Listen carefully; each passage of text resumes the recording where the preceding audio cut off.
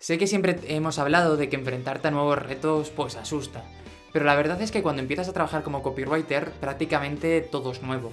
Nuevos desafíos, nuevas formas de escribir, nuevas herramientas que nunca habías utilizado y nuevos recursos que te tienes que sacar debajo de la manga para conseguir resultados. De hecho, eh, vas probando y cada día descubres que un cliente quiere algo nuevo de lo que no has oído hablar jamás. Yo me acuerdo de que al principio incluso lo llegaba a pasar un poco mal por el hecho de, ostras, no sé si esto lo voy a saber hacer bien, o esto, o lo otro. Así que bueno, siempre era un día de trabajo, pero también de mucho, mucho, mucho aprendizaje. Y yo creo que eso lo hacía muy bonito. Pero un día eh, descubrí un, algo, un objetivo, que me pareció súper interesante y que dije, ostras, yo quiero hacer muchos más de estos porque de verdad me gusta trabajar con ellos. Eran las landing pages, estas páginas de aterrizaje a donde llevamos a los contactos a los clientes después de una determinada campaña, ya sea de mailing, ya sea de Facebook, ya sea de Google, ya sea de lo que sea, para tratar de convertirlos en clientes finales.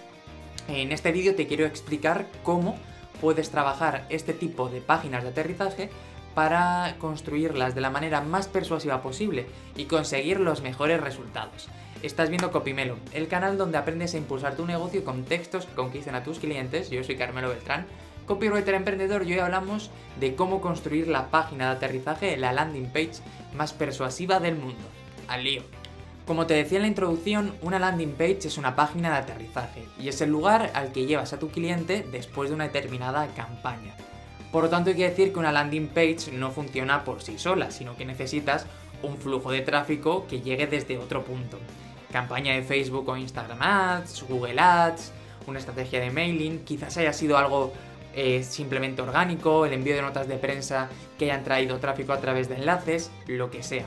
Lo importante es que sepas que una landing page es una parte más de una estrategia más grande y que por sí sola no te va a dar resultado, pero si lo combinas con estos elementos que surgen como surten eh, de tráfico a este espacio, te aseguro que todo esto va a empezar a fluir mejor.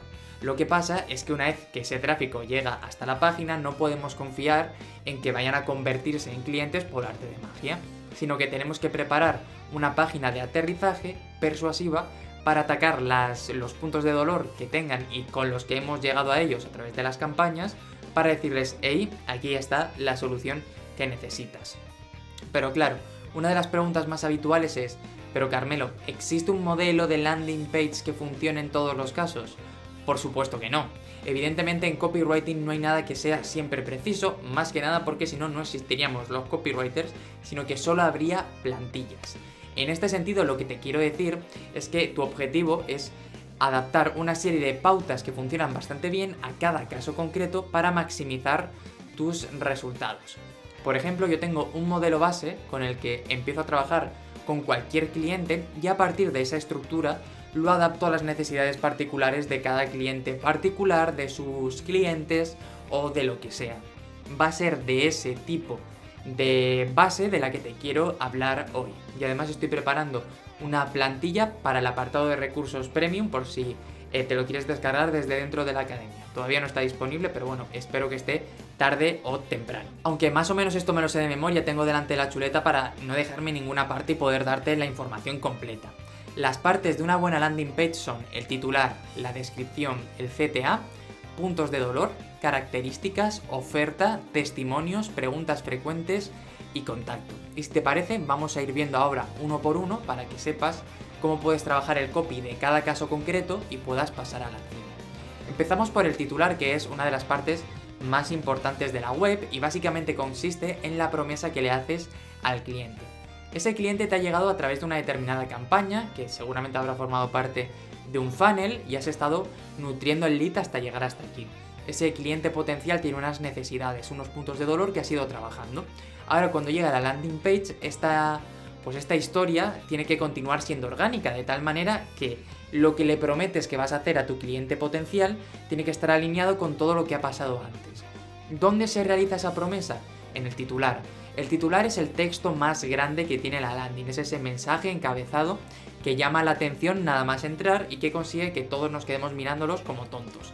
Los ojos se van allí nada más empezar. ¿Cuál es la clave? Desarrollar una promesa que le diga al cliente cómo le vas a ayudar. Aquí yo siempre soy bastante, bastante claro con mis clientes y les digo que la manera de hacerlo no es intentar emular las campañas creativas de Google, Nike, Apple o todas estas marcas superpotentes, sino hay que ser claro y directo. Probablemente el cliente no conozca nada de tu marca, el cliente no conozca quién eres ni tu trayectoria, entonces le tienes que decir con una frase clara cómo le puedes ayudar. Después del título tenemos la descripción, otra de mis partes favoritas por cómo funciona. Al final la descripción lo que hace es, en unas pocas líneas, tienes que explicarle a ese cliente cómo vas a hacer realidad la promesa. ¿Vale? Esto, este trío del que estamos hablando ahora mismo, también lo puedes aplicar, por ejemplo, a una home. Funciona perfectamente, igual solo que lo tienes que adaptar al caso concreto. Total, que en la descripción básicamente lo que tienes que hacer es explicarle de una manera un poco más precisa cómo esa promesa que has puesto más arriba la vas a convertir en realidad es muy importante que esto lo trabajes a conciencia porque en función de lo convincente que seas va a querer seguir leyendo o va a decir este tío me está vendiendo humo, no me lo creo y va a descartar tu proyecto. Por ello es tan importante que trabajes todo con muchísima atención. Este punto es el CTA o primer CTA porque lo más habitual es que haya alguno más colocado por la página web. Básicamente es titular descripción, si todo lo hemos hecho bien, esa persona tiene que ya estar planteándose el hecho de quiero contratar o quiero comprar, por lo tanto le vamos a dar la primera oportunidad un botón donde pueda hacer clic e ir a la pasarela de pago para cerrar eh, la venta de aquello que estamos vendiendo en ese momento.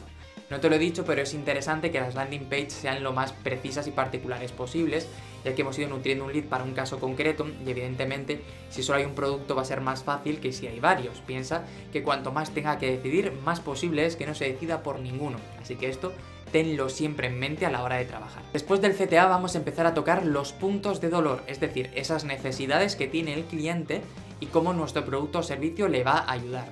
Yo tengo un enfoque muy particular de esto y es que en lugar de hablar ya negativo hay que hablar siempre en positivo. Por ejemplo, si el problema es que no consigue, eh, yo qué sé, hacer beneficios a su empresa, habla directamente de conseguir beneficios. Si no tiene visibilidad, habla de la visibilidad de las primeras posiciones. Ten claro cuál es su problema, transfórmalo ya en algo conseguido, en algo ganado y apuesta por ello con todas tus fuerzas. ¿Cómo puedes hacer todo esto? Mi forma particular de hacerlo es con puntos, con ballets, de tal manera que todo quede muy claro. Bueno, cuando digo ballets a lo mejor puede ser un diseño así bonito, ¿no? Eh, hay que pensar que la landing page también tiene un elemento, un componente de diseño web importante. Pero básicamente que de un vistazo se pueda ver claramente cuáles son los puntos de dolor y cómo se pueden ayudar. Mi consejo particular es que nunca identifiques más de 6, porque ya es mucho, y de hecho si lo puedes dejar en 3, muchísimo mejor. El número mágico del copywriting de la persuasión humana es y siempre será el 3, así que ahí tienes una oportunidad importante. Después llegamos al apartado de características. Piensa que al final todo lo de los puntos de dolor es lo típico de las bondades y los beneficios de tu producto o de tu servicio. Es eso, se lo tienes que destacar.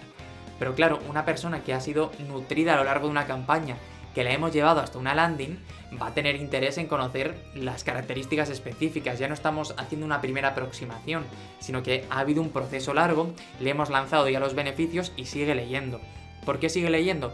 Porque quiere conocer más del producto o del servicio. Así que nuestro próximo punto es decirle, oye, que este, imagínate que estás vendiendo un ordenador, pues tiene este procesador, esta placa base, esta memoria RAM, esta capacidad de almacenamiento, etcétera, etcétera y etcétera esa persona tiene ganas de conocer más, así que se lo tienes que poner fácil. Háblale en específico de las características que tiene tu producto o tu servicio. El siguiente punto es la oferta, y es que, oye, si ha llegado hasta aquí, tendremos que atacar también con la oferta que le hacemos de por cuánto puede llevarse esto, ¿no? Así que aquí empiezas a jugar con las estrategias de pricing. Hay diferentes alternativas, puedes tener un precio único, puedes jugarte la del feo, el bueno y el malo de, de una estrategia de la que ya te he hablado en este canal de YouTube, también puedes tener diferentes niveles de precios, que sea un producto upsell, o sea, puedes hacerlo como quieras. Al final es que todo lo de arriba haya sido lo suficientemente atractivo y que ahora el precio no sea algo que nos rompa toda la persuasión, sino que sea adecuado al producto, al servicio y al valor que estás ofreciendo, ¿vale? Yo te animo a que te veas en la página web la guía de pricing porque creo de verdad que te puede ser de muchísima, muchísima utilidad. Así que el siguiente punto del que te quiero hablar son de los testimonios. Al final las opiniones del, los testimonios de clientes satisfechos siempre permiten romper muchísimas reticencias y es precisamente ahí a donde quería ir, básicamente porque no se trata de poner testimonios sin más, sino de que cuando pidas los testimonios los orientes a las posibles reticencias que pueda tener tu cliente potencial para que esos testimonios consigan romperlas. Imagínate que una duda es que el precio es muy alto. Pues que un testimonio, eh, cuando lo preguntes y le presentes la lista al cliente, le digas, oye, di cuánto te ha ayudado a ganar. Y ¡pum! Todo esto es muy importante y todo esto te dará muy buen resultado, ¿vale? Luego tenemos preguntas frecuentes que hay gente que es partidaria de ponerlas y gente que no. A mí sí que me gusta porque creo que es una herramienta muy potente para romper más reticencias sin que quede todo demasiado abarrotado. Si baja ahí va a tener toda la información que necesite. Normalmente en este tipo de, diseño de acordeón en el que solo si hace clic va a acceder a ello. Y además, oye, es contenido. Vas a llenar la página de muchísimo más. Algo que a Google le va a gustar y puedes ganar unos puestos por posicionamiento orgánico, que yo creo que siempre es interesante.